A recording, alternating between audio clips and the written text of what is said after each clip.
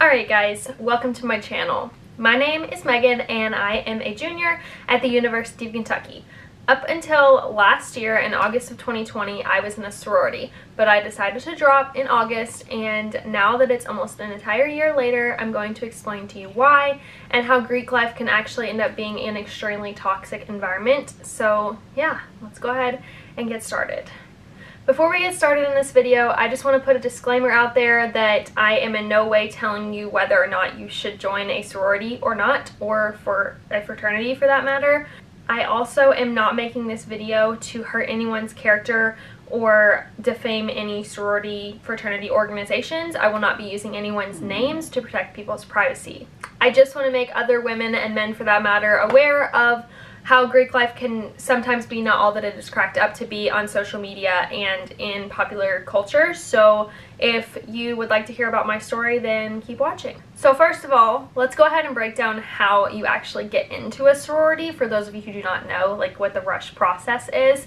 So basically you are going to be put into a Gamma Chi group, which is like your rush group, and it's going to be most likely girls who live in your housing um, building with you and you're also going to get a Gamma Chi which is a older girl in a sorority who has like disaffiliated from her sorority to take you to all the sororities and at the end they're going to reveal which sorority they're in but they don't want you to know which one that you're in so it won't affect your decision based on like oh I want to be in the sorority my Gamma Chi's in like that that way it won't be an issue. But whenever you actually go to houses, you're going to listen to them sing this like song usually or like do an intro speech or something and then you're going to get to talk to usually two girls, sometimes one, sometimes like three, but usually it's two girls in the sorority and you basically um they ask you a lot of questions and they want you to talk about yourself and it kind of feels like an interview or like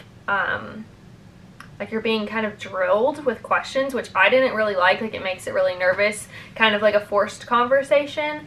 Um, just because being on the side of I went through the like learning how to recruit process you actually are given like a checklist of things that you are supposed to ask them about. So if the conversation feels forced that's because it is. Um, they make you ask certain things.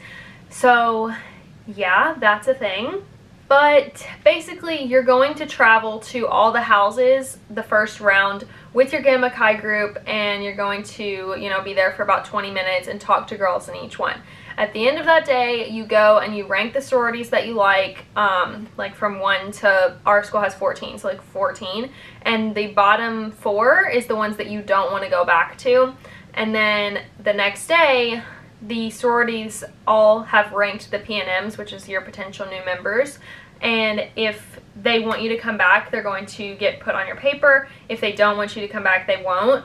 Um, and the only way that your rankings matter is if more houses wanted you back than the like number that are acceptable for the next round. So say you only got seven houses back, then even if four of those seven were the four you wanted to drop, you're still going back to them because like the sororities pick over you unless all of them pretty much want you. Anyway, so you go through like several rounds. Our school was four. We did open house, philanthropy, um, sisterhood, and then preference. That's what it's called. Um, and basically you just get more information with each round and like the conversations get longer. At the end, in preference, you're down to your two houses that you like and that like you back. Um, and then you'll go to those two houses. They do some kind of like weird ritual ceremony thing. And then you get to pick the one that you like the best. And then they pick whether they want you or not and then if you match with your number one house then you're gonna get that one. If you don't and number two wants you then you're gonna get that one. But basically the next day after you do this sometimes it's like the next weekend if you guys are doing them weekend recruiting you're going to go to some kind of public location. I'm not sure what it's like with covid because i was recruited in 2019 but you'll go to a public location. Ours was an auditorium and basically the gamma chi's reveal what sorority chapter? They're in and then you're going to get an envelope with your chapter in it and everybody opens them all at once. And most people get the chapter that they want i'd say probably like 80 to 85 percent but some people will get their second choice. I got my first choice um, But yeah, now I'm just going to kind of talk about how the recruitment process can be kind of problematic. First of all, like I said earlier, the conversations feel like really forced because they are and it's like kind of a job interview like interrogation kind of vibe which can give a lot of people anxiety and like be very nerve-wracking um, which just was not a positive thing. Like i know a lot of people going through it who had like anxiety attacks and would like cry and all kinds of stuff because they were just like scared or nervous or they didn't get the houses they wanted back or whatever else. Like it's just a really emotional process that can be difficult on people's emotions also, particularly with sororities who consider themselves like top tier at the school, are very like selective and like prejudgy. So like, um, like if you're a top tier sorority, they might be like, oh, well, we only want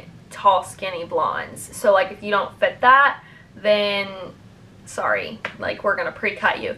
And they don't say that they do this, but everybody knows that they do. Like you can just look at who they bring back and know that they do that.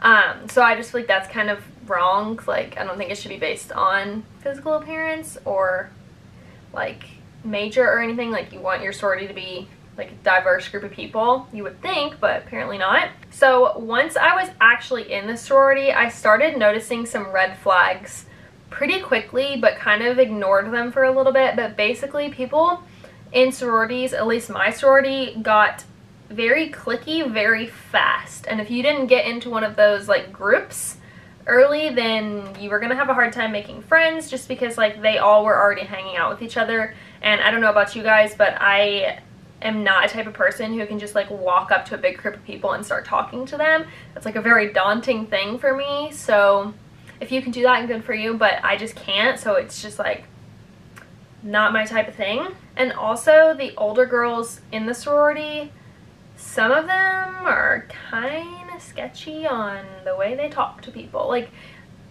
I didn't personally get like super offended by this, but they call like new girls like the babies and some people got mad about that. Like that was just an issue.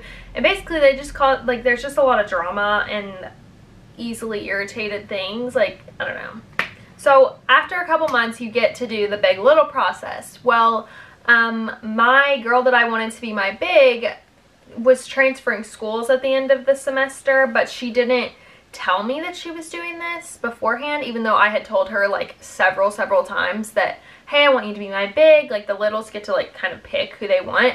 And so I had written her down as who I wanted, and then she wasn't even eligible to be picked, but she didn't tell me this. So I got paired with a girl that I had never even met before, and she also was going to have a twiddle who I had never even met before. So that was kind of awkward. And the girls were really nice, but we didn't necessarily like you know, mesh because we'd never met each other. We didn't necessarily have things in common. Um, and it was just kind of really awkward. Like, I don't know. Now, we're going to get into the part that is like the actual reason that led me to drop out of my sorority. So, to preface this, I need to explain a couple of background information things about what happened beforehand so that it makes sense. So basically, in my Gamma Chi group, there was 12 girls and five of us all went to the same sorority, including me. So we were all a group of friends. We all knew each other from recruitment and we were maintaining a friendship outside of it after being in the sorority. So that was where I was, you know, having my group of friends because like I said earlier, everything's really clicky, so it's hard to make other friends as well. They like to say that they're open to talking to everybody, but it really is a hard thing to get into. But anyways, out of these five girls, including myself, another one was also my roommate, my freshman roommate, who I had been friends with for 10 years prior to this. Like we grew up as friends, and I'm not going to say their name because I'm not going to, um, expose people or like bring up drama. I'm just sharing my experience for those of you who might be going through something similar or who are going to go through recruitment and want some information on like the other side of it and because a lot of information is just like oh Greek life is so fun oh my gosh oh my gosh but there actually is kind of a dark side to Greek life and I just want everyone to be aware before they get into something that they're not fully ready to deal with. So anyways, Everything with this group of friends was great for about a month or so. Um, I was we were hanging out all the time, going to games and everything. Um, but then I started to notice that we were hanging out less and less, and then all together we just like stopped hanging out. And we'd had a group chat previously that we all texted in to like hang out meet up and, you know, get dinner, go to do different things. And I realized on their Snapchat stories that they were still all hanging out without me, okay? So obviously they had created a group chat without me and this started to make me really sad and lonely and I was just like, wow, like my friends don't want to hang out with me. So eventually, um, it was irritating me enough that I asked my roommate, I was like, hey, like what's going on? Why are you guys hanging out without me? I've seen it on your Snapchat story. Like, why am I not getting invited? Like, why am I being excluded? And and when I asked her this, she basically like stared at me for a minute and then she was like, well, we don't really want to be friends with you anymore, so we're just not hanging out with you. We made a group chat without you and we're hanging out without you because we don't want to be your friend anymore. And so I was like extremely confused because it was like, first of all, I don't know what I did. Like I didn't do anything to make anyone mad, at least as far as I was aware. Um, and no one had ever said anything to me to say like, oh, that bothers me when you do this or oh like why did you do that i don't like that blah blah blah you know what i'm saying like usually if somebody has a problem they'll be like oh hey i don't like when you do that explain so that never happened so i was just really confused so i asked my roommate um, to text the other girls and ask them to come down to our room one at a time so we could just talk. I wanted to do it one at a time just so it wasn't like overwhelming and we could have a really calm conversation um, instead of like, you know, when you have a lot of people who are in emotional states, it could get like heated easily. But um, they didn't decide to do that. So to my surprise, when they showed up at the door, there was all three of them at the door plus my roommate in the room and they were staring at me with their arms crossed like a pouty little toddler and they just like had the most angry face that you could possibly have like it was it's actually kind of funny thinking back to it how like aggressive they looked standing in our doorway. Um, but basically, I was like, okay, well, I'm just, I'm going to try not to cause any more problems. I'm not going to escalate the situation. I'm just going to let them in. So they like stomp through the room and go stand up against the counter in our room. So if you don't know how like University of Kentucky's dorms are set up, there's like a common space with like a kitchen, counter area and then there's like a little table and then like you have your bathroom sinks here. So I was sitting at the kitchen table here with my roommate and all three of the other girls were standing along the front counter like by the door. So basically I just asked them like, hey, I've noticed you guys were hanging out without me. Like, what's going on? Did I do something to upset you? I don't understand. Like, can you please explain? Well, instead of being calm or explaining it like politely or really explaining with any kind of like actual evidence at all, they decided that they were going to start yelling at me, cussing at me, like basically bullying me and verbally assaulting me in my room. All the while my roommate, who was supposed to be like my best friend for like 10 years, is sitting at her at our table just kind of sitting there watching them talk to me like this. Um, and so basically this goes on for about 45 minutes. I asked them for like evidence of why they didn't like me or like what I did to be this horrible person that they were trying to tell me that I was. And their literal only evidence that they actually could give me was that I had asked them for gas money for driving them around for like a week, going to different things. I had asked them for like $5 a piece because gas is expensive and we're all college students, we're all broke and I didn't have a lot of money. So I was like, hey, can we just all split this? Like, I'm fine with driving you around, but like I need a little bit of gas money. Like we're going a lot of places. And some of them didn't have cars, which is totally fine with me. I was totally down to help. I just needed them to, you know, give me a little gas money when we went places. Well, apparently that didn't go over very well for them, but they never said anything to me, but they also never gave me any gas money. But I just kind of let it go, but apparently it bothered them a lot. And they didn't have any other evidence on how I was this bad person, but they said a lot of hurtful things that I am not going to repeat because um, that would get me demonetized, first of all, and that would probably get me flagged because they're very bad things. But basically, I sat there and took this for like 45 minutes, and I was like on the verge of tears but keeping myself from crying because I didn't want to give them this like satisfaction of like making me that upset because a bully is like a person just trying to like get a reaction out of you so basically I like they ended up leaving and I got into the shower and like bawled my eyes out for like half an hour. So when I got out of the shower, my roommate's gone. She's not in our dorm. She, I found out later, is down in one of the other girls' dorm rooms talking about it, shit talking me. And basically, I went to my room, called my mom, as one does when they are extremely upset about something, and you're an 18 year old in college, and it's only like October, so you ain't been gone very long. Um, and I just was talking to my mom on the phone and then my roommate came back a couple like an hour or so later and knocked on my door because I had the door closed and she was basically like hey are you okay and I will admit that I was kind of snappy about this because I was very angry at her for not defending me and I was like no I'm not okay like why the heck would you think I was okay after that like you didn't defend me at all we're supposed to be friends what the f like I was angry And, but yeah, so I was extremely angry with her. And basically I said what I said and then I was like, can you please just leave me alone? Like I can't deal with this right now. Like we can talk a different day. I just, I just want to be left alone. Like I was still crying. So I was um, kind of doing this through like sobs. Um, and so eventually she left my room after I was like, you literally need to leave me alone. Like I'm pissed off. So leave. And so then the next morning, this happened at like 1 o'clock in the morning. The next morning at like 9 a.m. I was waking up to go to a class and I saw a text on my phone from the new member educator of the sorority, which is basically the person who teaches the new recruits, like the PNMs, what it's like to be in that sorority, teaches you all about the sorority, what like the protocols are and stuff like that. And they're supposed to be kind of like a support system for new members as they like get into like full members of the chapter. So I had a text message from her, which I had never spoken to this girl outside of like our meetings and like I'd never spoken to her, just me and her. So this was really weird. And she basically invited me to come eat with them for lunch or dinner. And it was her and the risk management person that like is another girl in the chapter. But these are both juniors in our chapter and I was a freshman, obviously. Um, and so right away, I knew something was up. I knew it was really weird. Why would they be texting me? Like, I don't know them like that.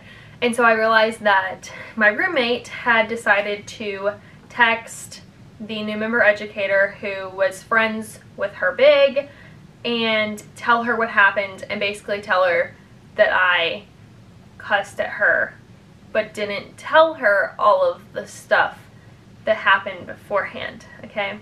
So, we I texted them back and I was like, listen, my story needs to be told. I'm gonna tell it to you, but I'm not gonna do it in public. Like I will come to the house and meet with you guys there to where we could talk in private. So I went up to the house um, after my classes. It was like 4 p.m. And I went up there and told them what happened. And basically they were just like, well, you guys just need to forgive each other and move on. And like they didn't offer me any support or any help or anything. Like they weren't going to do any disciplinary action on these girls who had literally verbally assaulted me and were bullying me, like actively bullying me that are in their chapter and that they're endorsing as people who are going to take littles the next year and like mentor people, which is horrible. They now have littles, which I feel bad for their littles. Um, but they weren't gonna do anything. They weren't gonna help me. They didn't even like say, oh, we're sorry that happened. Like, they just wanted it gone. They didn't want me to talk about it with anyone. They didn't want it to be known by anybody. So they basically just want to sweep issues away because they're worried about protecting the image of their organization instead of taking care of the people who are in their organization. So as time went on, I was going to try to, you know, just make friends with other people and get over it because I still was in the chapter. Like, I had still already paid for the whole semester at least. And I really wanted it to work. Like, I wanted this idealized version of what Greek life was supposed to be, and I wasn't ready to give up on it yet. Like, I wanted that experience. Like, that was a prominent part of what I wanted my college experience to be. So I was like, I'm going to try again. Um, but that didn't work very well because these girls who were bullying me were very popular girls within the sorority. They were very much in these cliques that I had talked about and started speaking about me, talking bad about me, just kind of putting a bad taste in people's mouths about me or in people's head about me before they really knew me. Um, and so that kind of made it difficult to talk to people and also again it's really hard to approach groups of people alone um, so I just started to feel more and more isolated and I was getting like pretty depressed. I had a lot of social anxiety surrounding everything to do with the sorority. Like I was at the point where I wasn't leaving my dorm unless it was to go to class and then I would come right back. Like I would literally eat in my dorm. I would buy food from the store and eat it in my dorm. I didn't go to dining halls. I didn't socialize with people. I wanted myself as far away from other people as I could possibly be and that is extremely unhealthy because I was so scared of what other people thought about me and how I was being perceived and I just I couldn't deal with it. Like it was literally giving me panic attacks to think about having to go to meeting every week because I was still in the chapter. Basically, my what was supposed to be my college family became my biggest uh, mental health and anxiety trigger that I could possibly ever have. Also, as time went on, my situation with my roommate got more and more hostile until the point where it was no longer a safe situation for me and I talked to my RA and got moved at the end of the semester. But that is a completely different story that I probably won't be telling. So fast forward to my second semester of my freshman year, we were in the new year and I was going to try to make it work again. I wanted this experience. I really wanted everything to be the way that I had imagined it to be always in my head. So I really made an effort to, you know, act happy even if I wasn't, to act positive even if I was terrified or extremely anxious. I was going to push it down and hide it and fake it till I make it very much. Um, and then COVID happened and we got sent home and I was no longer around these people who were very anxiety triggering for me which was actually the best possible thing that could have ever happened to me. I realized when I'm not around these people who give me all this anxiety, I feel a lot better. Hmm, you would have thought I would have thought of that one sooner, but I guess me wanting that experience kind of outweighed the logic there. But basically, in August, after thinking about it for a couple months and going through the process of realizing, hey, this is what's causing me all these problems. If I take myself out of this situation, I'm going to be a lot better. I decided when we went back to school that I was dropping for my sorority. Now, I had already gone through the process of training to be a recruiter, which is how I already know about all the stuff that I talked to you about during recruitment. And basically, you have to go through this like two week period of um, like kind of leaving where you are like not fully left until the paperwork is processed so you still have to follow all these rules and stuff um, but that wasn't really a big of an issue I just thought you'd want to know in case you were thinking about dropping from your sorority you have to go through like this waiting period where it like gets processed but yeah now it is almost an entire year later um, I am a lot happier of a person. I've managed my anxiety a lot more. I feel so much better and more comfortable going to college without this extreme anxiety trigger and knowing that I actually have real friends now and not just people who are like doing it for an image and are not really there to care about you. They're more worried about the image of their organization and of themselves. Um, so if you ever get into a tough situation with other members of a Greek organization or your own Greek organization, I would probably go higher up than your executive board because the executive board probably won't want to do anything about it because they don't want their image contorted and made to look bad. And that's what actually really scares me because you see all of this positive stuff about Greek life on social media that all of these girls go through the rush process and join chapters and all this and a lot of them have a really good experience. I'm not saying that that most people have a bad experience, but some people do, and they feel very alone. I know I did because they're what like I didn't know that this happened to other people, and so basically I just wanted to share my experience and tell anyone else who is struggling being in their sorority or someone who wants to see both sides of it before they join that this is a thing that happens. You're not by yourself. You're not alone. You're not the first person to have to go through it. If anyone is going through something like this and needs someone to talk to, feel free to reach out to me. I respond to all my comments, so you can reach out to me there or you can um, DM me on Instagram. My handle's right here, and I would gladly talk to you about it there as well. But I do just want to say to end the video, be careful on what you do. Don't um, let anyone else tell you what your limits are because only you can know what your actual limits are and what you're willing to deal with, what you're willing to do as far as like any kind of hazing problems, anything socially that is not something that you want to do, do not do it. They cannot force you to do it. It is not worth being in some organization to do something that you don't think is right. So, if you've made it this far in the video, I just want to say thank you for listening to my story. I hope it was impactful for you and helpful in some way. Most of my videos are not this depressing, I promise. Um, so, but I do make a lot of college content and lifestyle videos and stuff like that. So if that is the type of thing that you are interested in, feel free to go ahead and hit the subscribe button and also give me a thumbs up. It really, really helps me out and I would just really appreciate it. If you want to check out some of my other college videos, I'm going to go ahead and link my playlist above for you as well as in the comments down below or just pop over to my channel and click on the college videos playlist and they're all right there for you. But anyways, thank you guys for watching the video. I really appreciate it and I'm going to see you all in my next one. Bye guys.